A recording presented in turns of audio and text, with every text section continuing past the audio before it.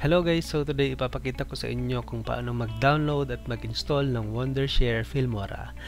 At mamaya, magbibigay din ako ng link para makapag-download kayo ng iba pang transitions, effects, elements at textiles. Kaya I suggest na panoorin nyo ang buong video para makuha nyo yung link na ibibigay ko sa inyo. Gusto ko lang po magpasalamat sa inyong lahat dahil uh, na-reach na natin ang more than 5,000 subscribers and sobrang nakaka-inspire po ang mga comments niyo kaya mas lalo ko po pong pagbubutihan ang paggawa ng mga videos na ganito. Kung hindi pa po kayo nakasubscribe, don't forget to click subscribe and don't forget to click the bell button. Isama nyo na rin pati yung all para kapag may bagong video na i-upload ko dito ay manonotify po kayo kaagad.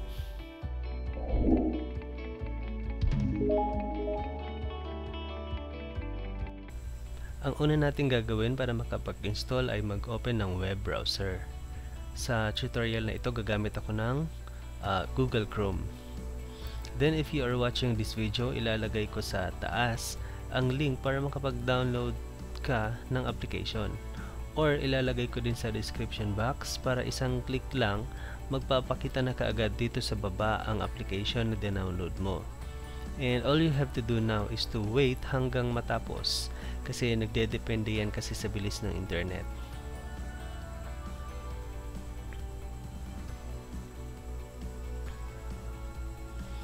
If it is done, pwede mo nang i-click yung na-download para mag-run yung installer. So, all you have to do is to follow the process para ma-install ito.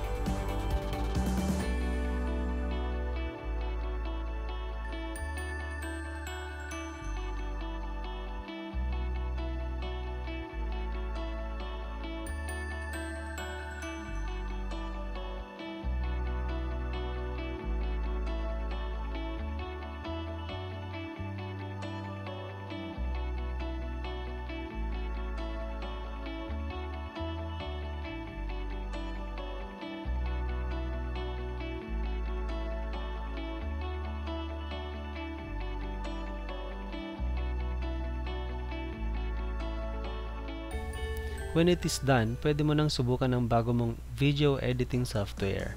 In this application, lahat ng features niya ay free to use.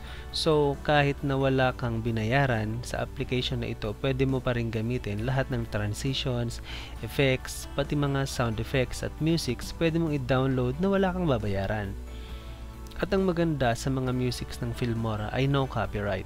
Ibig sabihin kahit na i-upload mo pa sa YouTube ay walang copyright issue. Ang application na ito ay may paid version din. Ang kaibahan ng paid sa free, kung free ay may watermark ng Filmora at pwede mong gamitin lahat ng features. Ang paid naman, walang watermark at pwede mong gamitin lahat ng features. So, sa free version ng Filmora, pwede mong gamitin lahat ng powerful features niya kahit free lang ang gamit mo. Kaya, okay na.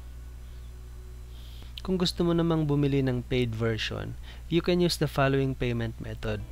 At ito ang mga promo nila for the different subscriptions.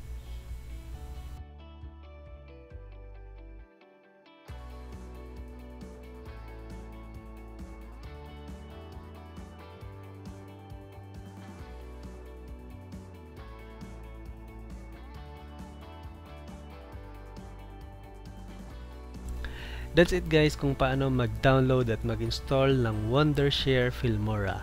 If you like this video, click like and share para makatulong din tayo sa iba na nangangailangan ng tutorial kagaya nito. Kung di pa kayo nakasubscribe, click subscribe and click the bell button para ma-notify po kayo kung may bagong video na i-upload ko dito.